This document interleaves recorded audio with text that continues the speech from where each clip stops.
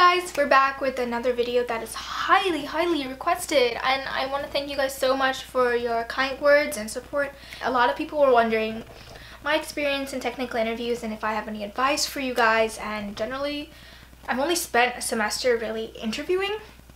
So I'll tell you guys what I've learned. And I'm sure many of you also have some experiences.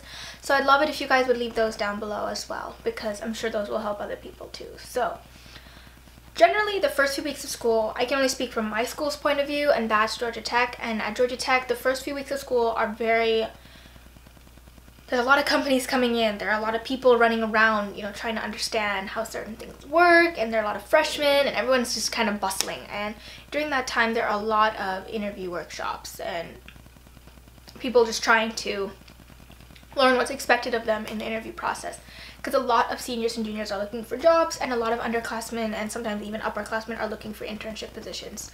During that time, uh, Google was very active on campus, so there were a lot of Google interview workshops. And at those workshops, Google would tell people things that are specific to their interview processes. But I took a lot of things from those and applied it to my other interviews as well because they're generally umbrella advice. So um, there are multiple different steps in a technical interview. So usually initially you have either a coding challenge, which is where the company sends you a specific kind of a test almost that you have a specific amount of time to finish and you have to write code to answer their certain questions and I think they have test cases and depending on each place they'll have a different format of it but I took one in Intuit and that was pretty pretty straightforward not too painful um, I had like an hour and a half to finish three questions um, you have to write some code, you have to think through it, you know, your logic is showing through all of that, and then if that goes well, they'll reach out to you for an interview. Um, then you have, or even prior to that, you have a phone screen where they basically call you on the phone and they're like, hello, how are you? You know, you have a little chat. You probably go through your resume or answer a few umbrella-like questions for them. Um, like explain a few concepts to me or all of that. Or you can have a phone screen where you're coding on a Google Doc. Um, you're never, you're not really gonna know which one you're gonna have. Um, then they're going to probably ask you to solve a question. So that's pretty similar to the one-on-one -on -one, where you're basically coding or writing pseudocode for a specific question. In that case, you can choose a language you want to code in. So you usually it's a good idea to have a primary and a secondary language that you're really, really strong in, that you can answer most questions. To prepare for these, I highly suggest using CodingBat, um, where they're basically a bunch of really basic coding exercises I think it's pretty much Java and Python based, but a lot of the questions I've gotten were pretty much straight from there or spin-offs of those questions. So really work on those. I think I'll leave the link I'll leave the link to that down below. It's like an online um, exercise place. Um, another thing I highly suggest using is cracking the coding interview. I'll leave a picture of that here somewhere. It's a book that has a bunch of practice problems in it and it also has a bunch of little bit of summaries on various topics which is really useful for those of us who haven't taken too many CS classes but want to know the like the basics of those topics. Also, knowing a little bit of data structures and sorting algorithms cannot hurt you.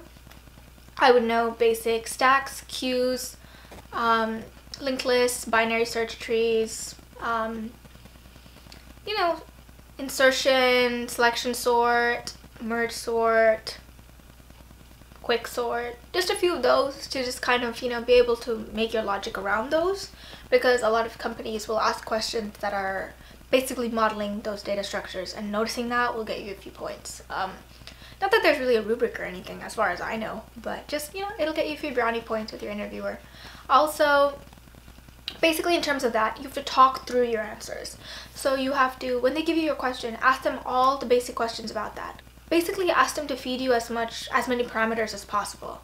If they ask you a question like you're given a list of, of numbers and you need to sort them from least to greatest, ask them are these integers, are they doubles, are they negative integers, are they positive integers, um, can I like model it. Can i assume that it'd be an infinite number of numbers or an um, like a large number of numbers or a small number of numbers? And your interviewer will tell you basically what you should consider when you're writing your writing your code. Sometimes they'll be like it doesn't matter. And at that point it didn't really help but it's good to ask those kind of questions. You need to talk through your code um, if, especially if you're on the phone because they can't see you in person. So they don't know that you're thinking they don't know you're still there they don't know that you're engaged. Talk to them. It's hard and you need to practice um, coding talking through it so i basically had a few friends just ask me questions and i'd code them on a whiteboard and they would ask me questions while i was coding and that was really helpful um, also yeah, that's basically it. I mean, phone screens and in person aren't too painful. Um, usually, I highly suggest knowing every single thing in your resume deeply and being able to answer the about me question. Like, tell me a little bit about yourself. And then you need to be like, um, I'm Ashwini, I'm 18. What else do you want to know? You know, not really like that. You know, you need to, you need to have a bunch of like, I really love CS. I started CS when I, I started learning like real computer science when I was in high school and I really enjoyed it because of this. I got into CS because of this. I'm still in CS because of this. You know, just a bunch of like just give them a little bit about your CS background and why you're doing certain things and talk to them about your projects. Yeah, really preparation is key for a technical interview, but also your body language is really crucial. So I've seen a lot of people go into technical interviews and they're really stressed, they're very tense, they're very nervous, and all that comes off, and it just makes you seem really cold and I mean, people understand it, but it's also just kind of, you need to go in a little bit chill. Like, you're confident in yourself, even if you're not. Just go and be like, you know what, I'm Ashwini, I got this, you know, they're gonna like me, I'm definitely qualified, like, we'll be fine. And if they don't, they don't. It's totally okay. Like, no hard feelings, like, it's totally chill. So, you go in and generally try and give off the vibe that you would if you were actually going into work there. And that way people would get the gist of like what you'll be like in their team. Are you friendly? Are you generally amicable? Are you able to answer questions ask questions? Do you seem to have any like ego issues arrogance all of that? Don't don't have any of that. Like that's all negative and should not be there but you should be able to answer questions be curious be friendly be supportive a good team member all of those are just very important that you convey in terms of my own personal technical interview experiences, I've had a few. Um, I had a few coding challenges that I worked on. They asked me to code palindrome, they asked me to code some other questions. So basically study CodingBat a lot. Um, then after that, you have a few in-person interviews. I basically had one with Apple where I had an in-person in-person one. He asked me to code like a spin-off of Fibonacci sequence that's also on CodingBat, I believe. So I would really study Coding CodingBat if I haven't already mentioned that to you. Um, also, after that, I had an in-person, I had an, two phone screens. So I had a phone screen with the manager of a, of a team at Apple.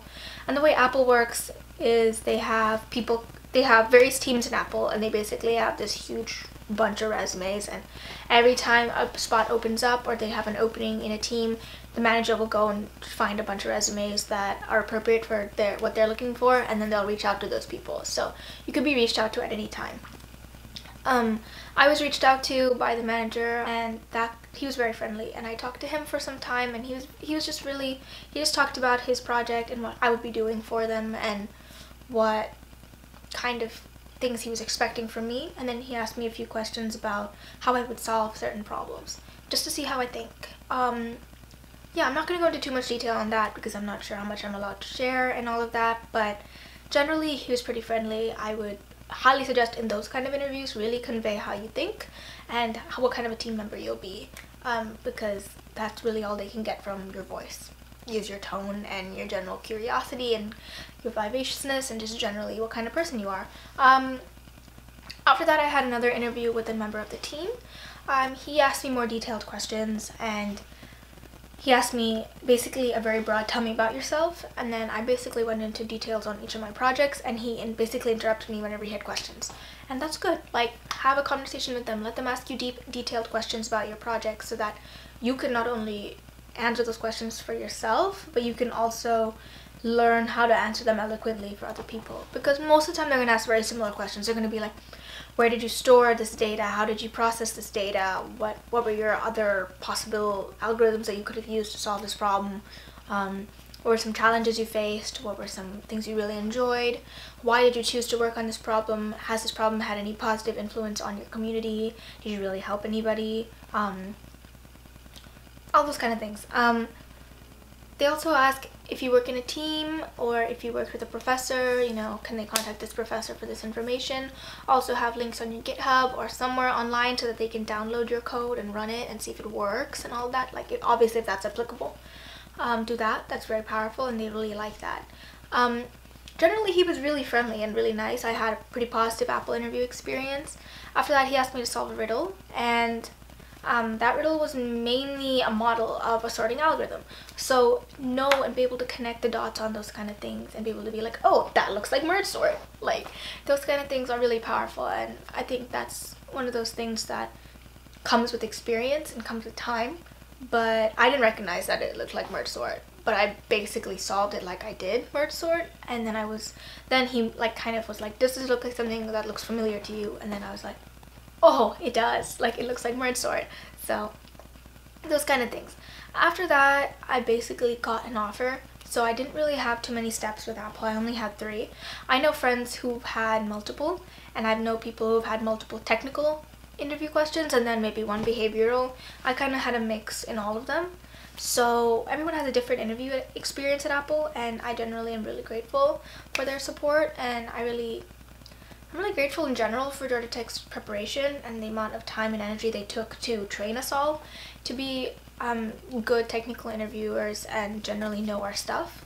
Because I know a lot of schools don't really do that, and I didn't really think of that when I was choosing a school. But generally, the resources we've gotten at Georgia Tech are very good, and I'm very proud to to go there. So, yeah. So if you any of you have any questions, leave them down below. Um, I hope this video was helpful. If any of you also have any technical interview experiences that you want to share or positive stories, I don't really care, share them down below. I think that'd be a funny thing to experience and also to help other people. Um, don't forget to like, comment if you enjoyed this video, and subscribe. Um, subscribing basically allows you to get notifications every time I post a new video. So maybe if I film the video you request, I you'll get a notification. So. I really appreciate all your support and if you guys have any questions or you wish I'd answered a specific question in this that I didn't, leave a comment down below. I feel like I've told you guys to leave so many comments down below, but basically just tell me what you guys think and I'll I really appreciate it. So I'll see you guys later. What makes me happy is when people are happy and when people accomplish amazing things and when people are nice to each other and when people leave nice comments, you know, below and um, I don't know, just generally happy things.